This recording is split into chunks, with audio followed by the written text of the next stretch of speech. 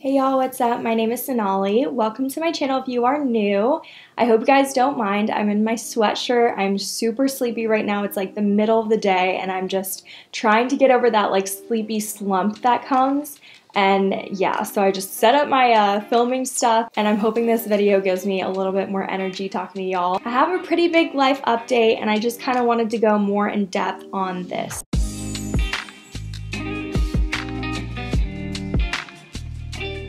So basically, I got a job 10 months after graduating from college. And I kind of just wanted to make a video about this because I know that the post grad job hunting is a struggle and a half. To give you guys a little bit of background about me, I went to the University of Central Florida, it's in Orlando, and I majored in radio television. Um, and throughout college, I really found my passion was just like photography, videography, content creation, social media, all that stuff. So I was trying to look for jobs in social media, um, marketing, content creation, anything like that. Um, but my dream job would definitely have been content creation. Um, I really just love anything to do with cameras um, and editing and all that stuff. So I moved to Austin, Texas after college because my boyfriend got a job with Oracle here. And so I tried job hunting here. I was just looking around. And of course, I wanted to work for like a cool company that was like kind of millennial and just like a name that I kind of knew of. And I definitely wasn't knocking trying to work for like a startup because I definitely interviewed with one and it didn't really go so well. Um, but anyways, I feel like the bigger brands definitely wanted more experience in social media and I personally thought I have a lot of experience for my age. Um, but yeah, I go a lot more in depth about just like my post-grad job hunting struggle in another video, so I'll link that down below so you guys can pause this video, go watch that one, and then I feel like this will all make a little bit more sense. I really just did not think I would get a job after I posted that video. I kind of posted that video just telling myself, okay, like I'm gonna try this whole freelance thing. I'm gonna pursue photography, I'm gonna pursue videography, try to do this whole influencer thing. Um, and it's been really picking up, it's been going well. And then, of course, it just so happens when I stop looking for a job, a job kind of comes my way. I know some of you guys follow my photography and videography stuff on my other YouTube and uh, my other Instagram page, so I really, really appreciate that. Um, so you guys probably may have seen that I got flown out to Miami. I actually made a vlog on it. So I actually got flown out to Miami to film an event recap. And so this was actually for the company that I got the job with. Um, it was just one of their uh, properties. So at the event, I saw a girl I knew from my sorority. She was two years older than me, I think. So we were KD sisters um, and we're alum now. So this girl works with the company that hired me for the Miami gig and she told me that they had a content creator job opening up. And I think this was like in October or something. Um, so I wasn't really trying to get my hopes up, but I was like, oh my God, that would be everything because I loved the company. I've actually worked with them even before Miami when I was in college at UCF. I did a couple gigs with them um, in Orlando and Tampa. Um, so I already know the company. I already love the company. I think they're great. I they're so understanding. They always respected me. Um, so I was really really excited when she told me that this role opened up. So a few months later, the job opened up on their website. So I went and applied, and I did one video interview, and it was just so like chill, I feel like. It wasn't really that much pressure because, first of all, they kind of knew my work. They they have had referrals for me, um, and I just didn't really feel that much pressure to be something I wasn't because the job was just that perfect for me. I remember interviewing for my first job, and I forgot what the role was, but it was some kind of like job that I really wasn't familiar with.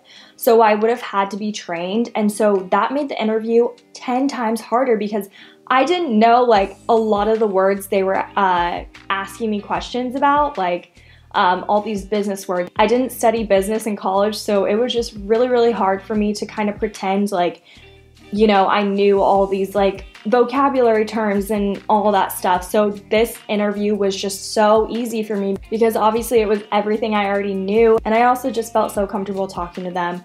Um, so it was really great. And thank God it was only one round of interviews because that other job I interviewed for, um, they did like three rounds of interviews and I didn't get the job. And I was like, could you not have like cut me off at the second at least? Like it sucked. But anyways, to be honest, I was a little bit hesitant to apply for the role because at the time I was just kind of like really getting into my freelancing stuff and you know, things are definitely starting to pick up with that. So I didn't know if I you know, it, if it was the right time, but I just thought, you know, it wouldn't hurt to just interview, find out a little bit more about the role. When I went online and read the description, I just felt like it was perfect for me. I feel like every little bullet point was like a skill I actually knew about. I also really believe that I just have so much more to learn about, especially in the corporate environment, and I just I feel like you can never stop learning from other people. So while I'm young, I definitely want to take advantage of that. At the end of senior year, coming to Austin, I actually saved up so much money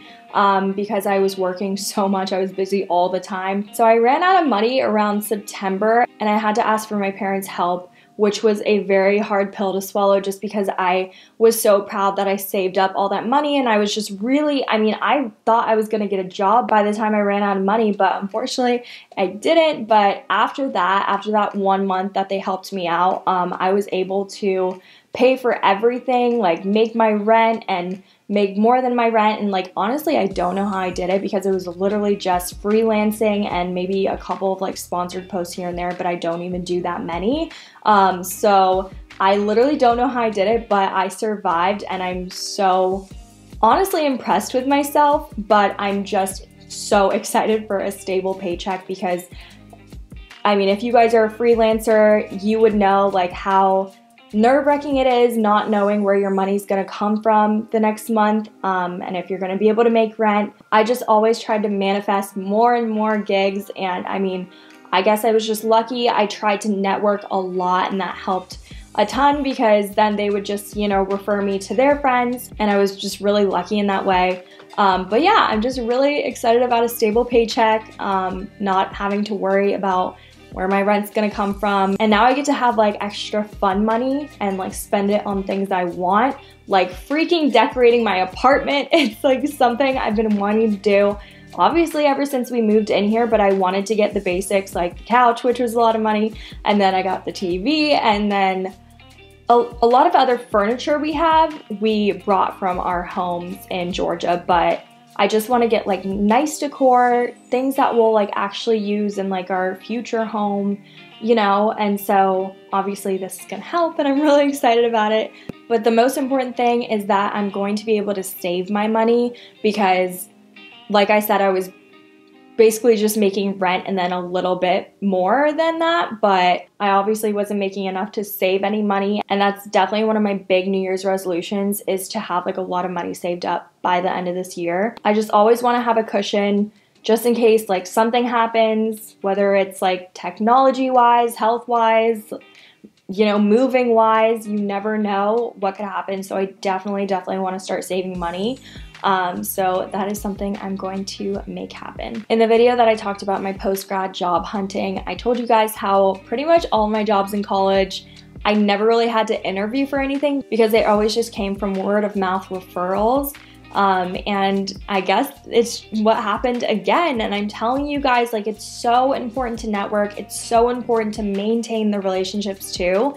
Um, not just to like meet as many people as you can, but like try to stay connected over time because it's literally how I got this job. The people that I worked with while I was doing my freelance for this company, they referred me to who is now my boss. So it's just really nice to have people that can kind of push you a little bit forward. I think what also really helped is that my references wrote amazing things about me. At least that's what they told me in um, the follow-up email they sent. And I'm really just thankful for my past bosses and I also keep in touch with them too. So again, maintain those relationships. You never know what they could say about you to your future employer. So now it's time to actually say what I'm gonna be doing for this job. I'm going to be working as a content creator, which is literally insane because this is like the dream title I wanted straight out of college. Um, and I'm just really excited about it because I mean, I like social media, I think marketing's cool, but I definitely think that my passions are in content creation. Like, I'm really good with the camera and uh, editing and stuff, so why not like use my skills? Um, so, it, what's crazy about this job is that it was actually originally supposed to be in Georgia um, and in Athens, Georgia, actually which is weird because Ryan went to school at UGA, so I'm very familiar with Athens. And what's also crazy is that I was actually raised in Roswell, Georgia, same with my boyfriend, that's where we met. So my parents, my family all lives in Georgia. It's just gonna be nice to be able to pass through and maybe have dinner or breakfast with my family um, every once in a while. But I'm not really sure how much I'm actually gonna be traveling or even traveling to Athens, um, but I'm going to be going there on February 10th uh, for my training. So I'm starting on February 10th and I'm really excited and also nervous because obviously starting my first real post grad job is nerve wracking. I obviously have to live up to like my referrals and my references. Um, so I'm just really excited to get started. I just want to throw in some questions that you may have about you know, just my life in general or like this job or whatever. So the first one is will I still be freelancing? And yes, I do still plan on freelancing. I love having just like different projects. I feel like it really gets my creative juices flowing. I am working at this job 30 hours per week, so it's part-time. So I'm definitely going to be taking on freelance jobs um, when I'm not working or on the weekends. The next question is, will I still be active on YouTube? Um, and of course, I am still gonna be active. I, I feel like this is gonna make me work even harder on YouTube because, first of all, it's gonna give me content um, that I have a job now and I can talk about that. But also, I feel like in college, I had so many jobs and I got it all done, which is actually insane because it was a lot on my plate, but I've always found time. And I feel like when I don't have that much to do, I start to procrastinate because in my mind, I'm like, oh, well, I have like tomorrow to do that. So like, let me just push it off to the, till then, you know? But now with having a job, I actually have to prioritize this job instead of, you know, my YouTube channel. But obviously, my passion is my YouTube channel, so I'm gonna make time for that. So I'm hoping that the time that I do have to work on stuff will just be used more efficiently. So that wraps up this video. If you guys have any more questions for me down below, go ahead and ask them, or you can DM me on Instagram. Um, go ahead and follow my Instagram too if you guys are new here and you don't already follow. Um, I have some great content and I'm trying to talk on my stories more um, and just interact with you guys in general. So I will see y'all in my next video. Bye!